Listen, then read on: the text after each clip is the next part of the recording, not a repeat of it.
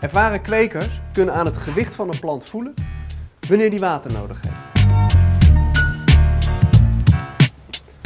Maar je kan hiervoor natuurlijk ook een weegschaal gebruiken.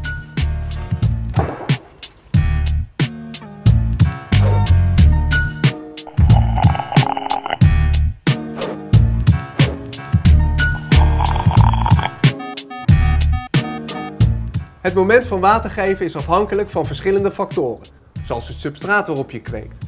Download de bijgevoegde PDF voor meer informatie.